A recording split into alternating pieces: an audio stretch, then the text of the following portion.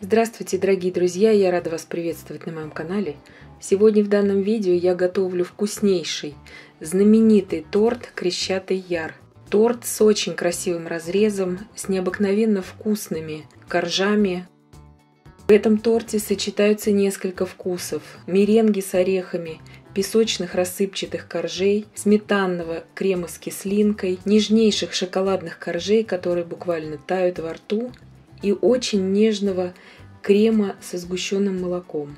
Торт этот очень вкусный, готовится он в два этапа, и сами действия, которые мы будем производить, в принципе, совсем несложные, и готовится этот торт из очень простых продуктов. Сейчас приготовим шоколадный бисквит.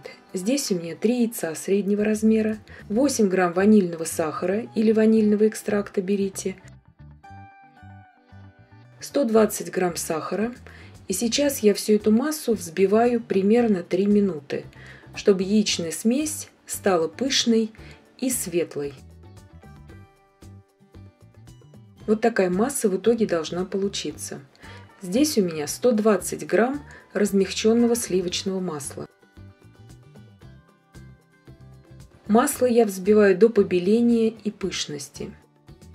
Сейчас я добавляю все масло в яичную смесь и аккуратно перемешиваю миксером, ничего не взбиваю. Я это делаю для того, чтобы меньше расслаивалась смесь. Если мы будем отдельно взбивать сахар с маслом, потом вводить яйца, смесь очень сильно отсекается и расслаивается. И я всегда уже много лет взбиваю именно вот таким образом. Теперь просеиваем туда 150 грамм муки, 40 грамм какао и 7 грамм разрыхлителя.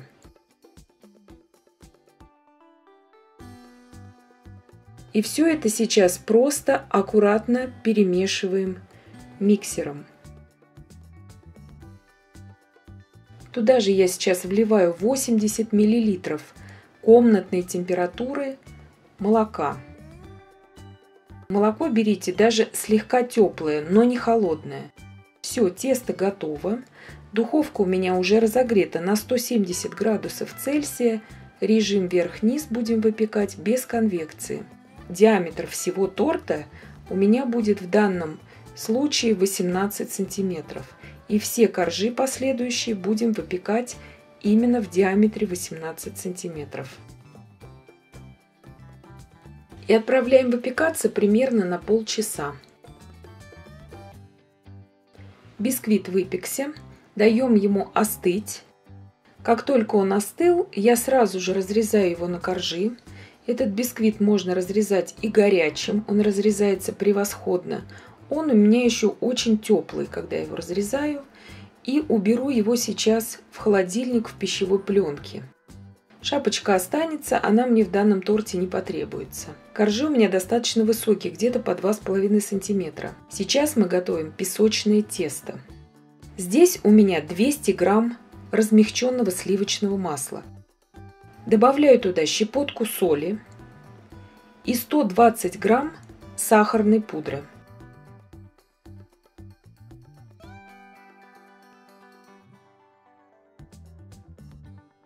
И взбиваю сейчас, чтобы образовалась такая пышная белая масса.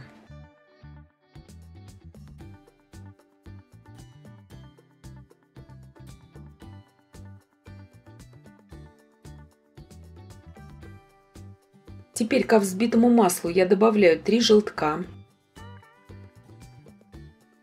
Каждый желток прорабатываем основательно, чтобы все хорошо перемешалось.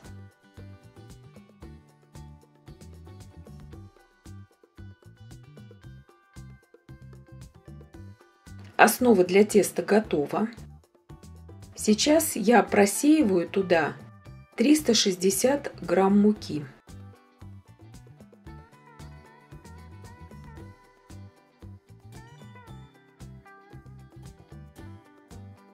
И все это просто прорабатываю миксером.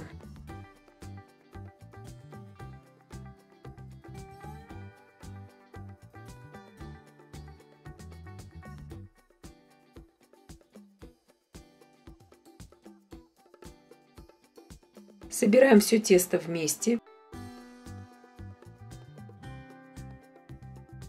И убираем сейчас в пищевой пленке в холодильник где-то на 30-60 минут. Я его так сформировала, чтобы удобнее потом было нарезать. Теперь я приготовлю орехи. Здесь у меня 120 грамм фундука. Я его измельчаю в пакете скалкой. Сильно мельчить орехи не нужно, чтобы они чувствовались потом в торте. Орехи для данного торта можно брать любые. И я сейчас обжарю орехи в духовке на 150 градусах Цельсия. Где-то до аромата такого орехового. У меня прошло примерно минут 40. Я достала тесто из холодильника, делю его на 4 части. И сейчас я нарезала из пекарской бумаги вот такие квадраты. И на каждом из квадратов я сейчас раскатаю коржи диаметром по 18 сантиметров. Накрываем также слоем пекарской бумаги, чтобы нам удобнее было работать. и вырубаем кольцом или же по трафарету вырезайте корж диаметром 18 сантиметров. Но ни в коем случае не больше, чем шоколадный корж. Иначе это будут большие проблемы потом у вас со сборкой торта. Лучше сделайте коржи чуть меньше, чем у вас шоколадные коржи. Сейчас выпекаем при температуре 190 градусов Цельсия верх-низ без конвекции песочные коржи где-то по 8 минут, максимум 10. Просто слегка их запекаем. Вот так они должны выглядеть. Теперь, пока печется следующая партия песочных коржей, я взбиваю меренгу. 90 грамм белка у меня здесь, добавляю щепотку соли и 8 грамм ванильного сахара. И ввожу туда 170 грамм сахарной пудры порциями где-то в три приема.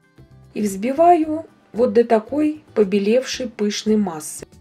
Минимум 5 минут. У нас получилось безе на французской меренге. То есть оно должно быть не, не так сильно, оно держит пики, но нам этого достаточно.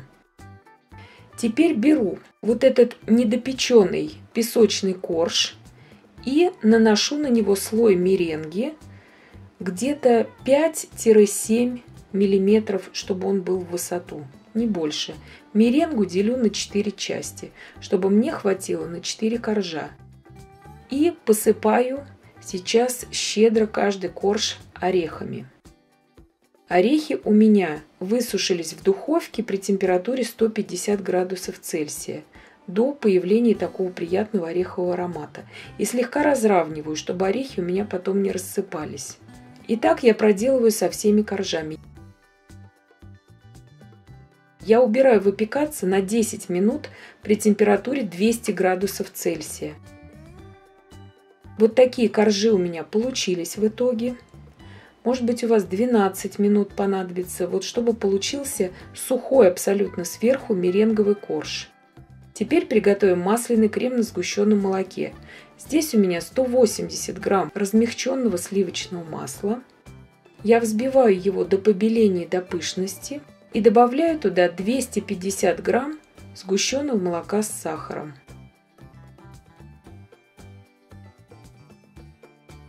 И взбиваю сейчас до такой пышной побелевшей массы. Крем готов. Взбивается он буквально пару минут. Теперь готовим сметанный крем. Здесь у меня 130 грамм сгущенного молока с сахаром. Добавляю туда 18 грамм миллилитров лимонного сока свежевыжатого, перемешиваю. Масса должна загустеть и посветлеть. Здесь у меня 500 грамм сметаны. Сметану лучше брать 25-30% жирности. Добавляю туда все сгущенное молоко с лимонным соком и 2 пакетика загустителя для сливок 16 грамм и взбиваю просто все до пышности. Крем готов. И теперь можно уже приступать к сборке торта. Шоколадные коржи я ничем не пропитываю, потому что они здесь очень влажные получаются и очень нежные. На шоколадный корж я наношу одну треть от всего сметанного крема, кладу песочный корж дном на сметанный крем и меренгу сверху я покрываю половиной масляного крема на сгущенном молоке. Меренговый корж должен стучать, то есть он должен быть совершенно сухим. Разравниваем и накрываем следующим коржом меренгой вниз, чтобы меренга была у нас полностью изолирована масляным кремом. А песочные коржи сейчас опять же промазываем сметанным кремом, чтобы они у нас от сметанного крема пропитались. Торт этот я готовлю в два этапа всегда. Сначала я предварительно выпекаю шоколадные коржи, также я делаю песочное тесто и обжариваю орехи. Теперь на сметанный крем я опять укладываю песочный корж меренговым слоем вверх. Меренговый слой я опять же промазываю масляным кремом и кладу меренговый слой вниз. То есть это все делается для того, чтобы изолировать меренговые коржи. Выкладываем третью часть всего сметанного крема и накрываем в итоге все это шоколадным коржом. В принципе, торт собран. Все это делается совсем несложно. Главное распределить свою работу. И убираю сейчас в холодильник на ночь. Сверху покрываю также пищевой пленкой. Крем, которым я сейчас покрою тортик сверху, это очень быстрый крем шоколадный с маскарпоне. Как он готовится, проходите по ссылке на видео, я оставлю вам в инфобоксе. Я сейчас связала просто этим же кремом крошки, немножко выровняла так шпателем. И этим же кремом из кондитерского мешка я покрываю весь торт. Домашний тортик этим кремом выровнять можно. И сейчас шпателем или линейкой просто разравниваю все это. Сейчас я ставлю тортик где-то на пару часов еще раз в холодильник, чтобы верхний крем у меня схватился. Он уже хорошо пропитался и разрезается прекрасно. Коржи все прекрасно прослеживаются в торте. Торт получается необыкновенно вкусным. Шоколадные коржи буквально тают во рту рассыпчатые песочные коржи, которые пропитаны сметанным кремом. Хрустящий слой меренги с орехами дает необыкновенное сочетание вкуса. И этот торт, конечно же, праздничный. Этот торт не на каждый день. Вы его также можете приготовить более низким и широким.